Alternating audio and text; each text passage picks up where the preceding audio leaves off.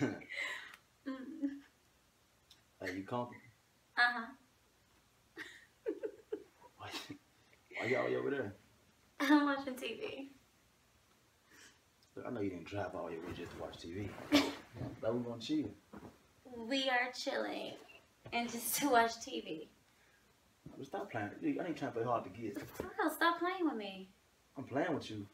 But stop. Look, hey. To stop playing with you. For real, get, God, knock your ass out. get off me. I'm What serious. you gonna do? Stop playing with me. What? I'm, stop. Stop. Stop. So. Play with me like that, shit. Hey, what's up, man? Yo, that was very difficult for me to do. That video made you feel some kind of way, right? It was hard to watch, right? Just think about it. So many women, that is a reality for so many women out there. It takes a weak ass boy, excuse my language, to do something to a woman, to take something that precious from her, because you can't get it on your own. Ah, I'm getting mad. Look, ladies, I don't care how cool you think a guy is. I don't give a damn what you think about this guy. Always take something with you. Always be prepared for something to happen.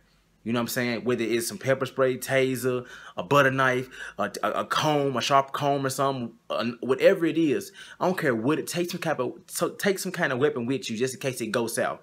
Cause you you never know with these guys. You you never know. And I apologize from all the men out there. If, if whatever lady watched this, if y'all have had this happen to you, I apologize.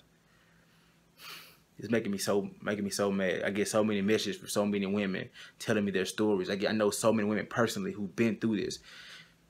Ah, yo man, look, like this video, share this video, like my page, Jeremy L Holloway.